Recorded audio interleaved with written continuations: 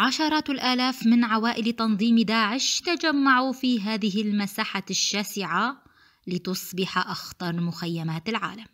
أطفال بعمر الورد معظمهم في سن الدراسة أو أقل منها. لا ذنب لهم سوى أنهم ينحدرون من آباء يتبنون الفكر الداعشي المتطرف. في حين تتغاضى حكوماتهم عن استعادتهم وإيجاد بيئة مناسبة لتربيتهم. وينظرون إليهم على أنهم قنابل موقوتة قد تنفجر مع الزمن في هذا المخيم الذي يجدون فيه بيئة ملائمة لإكمال ما قام به آباؤهم في حال لم يتم استعادتهم. بدأت رحلتهم من بلادهم إلى سوريا برفقة آبائهم. منساقين وراء وهم الخلافة الذي دعاهم إليه زعيمهم البغدادي. داخل مخيم الهول الذي يأويهم يطاردون فريق أخبار الآن. بعضهم يرشقنا بالحجارة بتعليمات من أمهاتهم الداعشيات وبعضهم يريد التحدث إلينا. يدربونه يريد يروح يدربونه يدربونه يدربونه إيه يدربونه يشيلون السلاح ويقولون له اطلع. أيوه. إيه. وأنت يا طفل.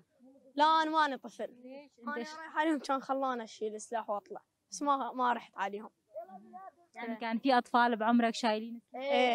اشبال إيه. الخلافة؟ اشبال الخلافة؟ إيه. شو يعني اشبال الخلافة؟ يعني دولة إسلامية. يعني دولة إسلامية. دولة إسلامية بس يعني شوية صغار يعني مو شبال الخلافة؟ ليش الطفل لازم يشيل سلاح ولا لازم يشيل شنطايته يروح على المدرسة؟ لا, لا يشيل شنطايته يروح للمدرسة. لا يروح يشيل الشنطة ويروح للمدرسة. إذا هو صغير. إذا هو صغير يشيل الشنطة ويروح للمدرسة. طيب أنتم ما صغار؟ لا. إحنا من قد أعماركم؟ أنا عمري 14 يعني أنت مو خرجت تروح على المدرسة؟ بلا أروح للمدرسة. بس الحمد لله أني تعلمت. نروح نروح من الصبح إلى إلى أذان الظهر. يجون يعطونا حرف واحد حرف الباء أساسا أنا ما أعرف حرف الباء. آه. قاعد قاعد يعطونا كل شيء آية يقول لك احفظوها نحفظها ونكمل.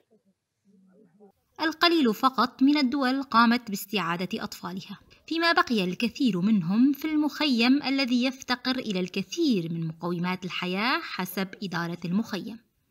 يبلغ عدد الأطفال بمخيم في مخيم الهول 45037 طفل أي بنسبة 65% من الأطفال آه، داخل المخيم. آه، يعاني الأطفال من مشاكل عديدة من منها الفكر المتشدد وقلة مراكز التعليم بالإضافة إلى إصابة الكثير من الأطفال آه، بالأمراض وذلك لقلة الأدوية ونوعية الأدوية.